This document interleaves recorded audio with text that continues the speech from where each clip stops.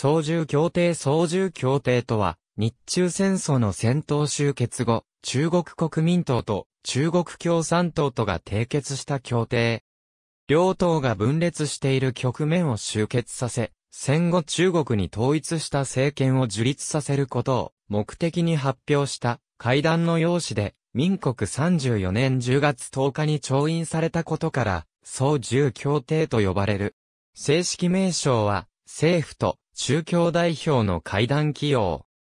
日中戦争終戦後、中国の平和的発展を脅かす外的要因が減少しつつあったことに伴い、抗日という同一目標に向け共同作戦を採用したことで戦争中には表面化していなかった中国国民党と中国共産党との間の政治矛盾が浮上してきた。日中戦争によって多大なる犠牲者を出した中華民国であったが、結局は西安事件の際にヨシフ・スターリンや中国共産党主席、毛沢東の意図した通りに、日本軍との戦いで損耗しきった状態であり、毛沢東主席率いる中共は、日本軍と国民党軍の相打ちを実現させたことで、戦力の温存を図っていた。東北、河北、中原の各地区では、国境両党の軍隊が、都市統治権と戦略物資の接収をめぐって争いが展開され、ソ連は東北地区にあった元日本軍の兵器と戦略物資を獲得しており、これが、林氷が率いる東北友軍に流れていた。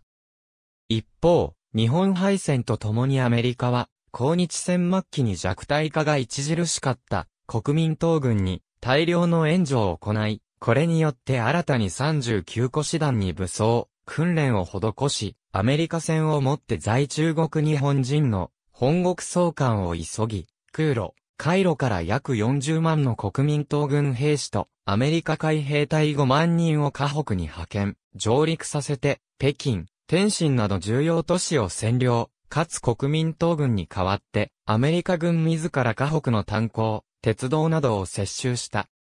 こうしたアメリカ軍による北上作戦援助は、公式には日本軍勢力一掃による中国の急速な主権回復のためと理由づけられていたが、アメリカの目的はそれだけではなく、河北の主要都市及び、輸送、産業上の戦略拠点が、中共軍の手に落ちないよう先手を打ち、さらに国民党の東北支配の足場をいち早く固めることにあった。このように、国民政府はアメリカから軍事援助を受け、アメリカ海空軍によって国民革命軍が河北、東北地方に展開され、両党は一部の地区で散発的な衝突を繰り返していた。アメリカは戦後の東アジアの政治地図として、日本が再び台頭してくるのを抑えるためにも、内戦と戦争が続いた中国を何らかの形で大国として安定化させ、それによって東アジアが勢力均衡になることを期待していた。本国政府や中国中流アメリカ軍の間で、多少の意見の相違はあったものの、国民党のリーダーシップのもとに、中国の統一を図る、国民党をできるだけ支援するが、共産党との対立が内戦に発展することは極力回避する。アメリカが中国の内戦に地上軍を派遣したりすることはしないとする点では、大筋大体一致していた。中国中流のアメリカ軍総司令官、アルバート・ウェデマイヤー中将の次の会見談話は、なぜアメリカ軍が中国に駐留し続けるのか、中国の内戦にどういう関与をするのか、という連合国の記者の質問に答えたものであるが、アメリカの大体の姿勢が伺える。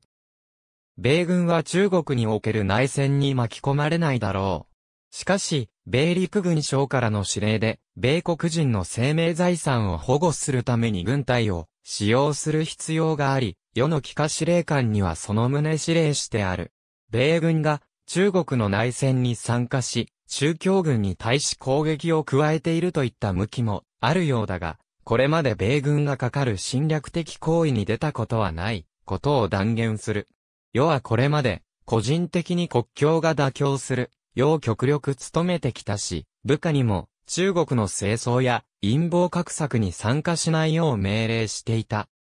民国34年8月、蒋介石主席は、国民政府のご提唱の提案を受け入れ、毛沢東に対して、重慶で国内の和平問題について討議すべく3度に、わたって、会談を呼びかけた。この呼びかけに応じた、毛沢東と、周恩来、大若妃は8月28日、アメリカのパトリック・ハーレー大使と共に、沿岸から重慶を訪れ、中国共産党の代表として、中国国民党の代表である、蒋介石、王清潔、張治中、蒋力子と会談を行った。重慶で会談する、蒋介石と、毛沢東重慶会談で祝杯を挙げる、蒋介石と、毛沢東会談開催前、両党は、協議期間中の停戦を発表していたが、実際には、協議における優位性をより確保するために、共産党の軍隊は戦略的用地の奪い合いを繰り返し、協議期間中も戦火が止むことはなかった。協議を通して、共産党は、抗日拠点の独立主権を主張し続けたが、海南省、浙江省、河南省一帯に分布する13カ所の拠点を国民党に提供することに同意した。また、これらの拠点については、国民政府の接収後に、両党のイデオロギーを結合させた、新民主主義の構想を掲げることで、両党の関連形態の対立を和らげようとした。一方国民党も、民国26年の日中戦争勃発前に、すでに共産党が保有していた、延安の革命根拠地の保持を変えなかったが、その他の地区は、取り戻すことを主張した。さらに、共産党の軍隊を国民政府の指導下にある国民革命軍に組み入れて統一的に指揮することを要求した。共産党は国民党だけがコントロールしている政府に軍隊を渡すことを拒絶したが、人員の削減はできるとし、真に民主的な政府を成立させた後に軍を渡すことを求めた。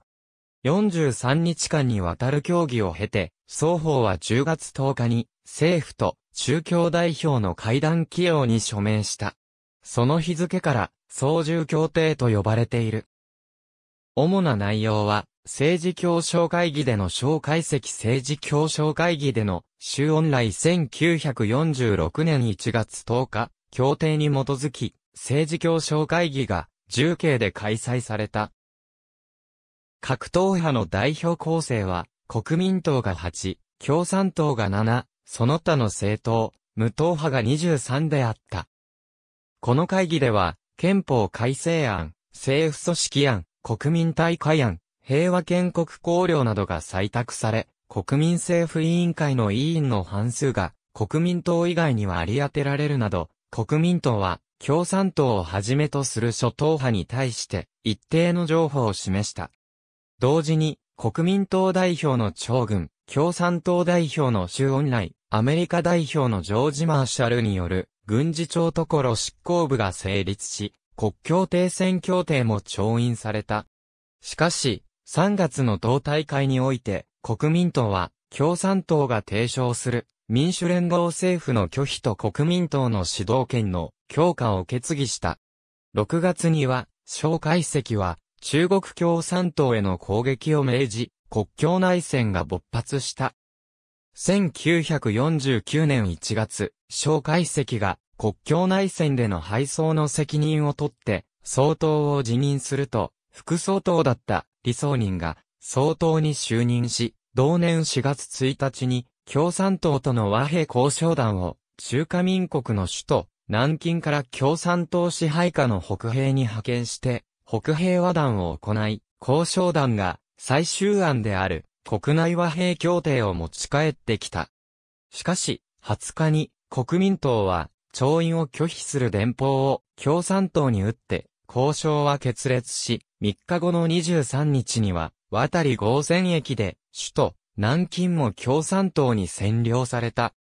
1949年10月には南京を首都としていた中華民国に代わり、北京を首都とする中華人民共和国が建国された。一方の蒋介石は同年12月に生徒から飛び立ち、台湾島の台北に線として総統に復帰することとなった。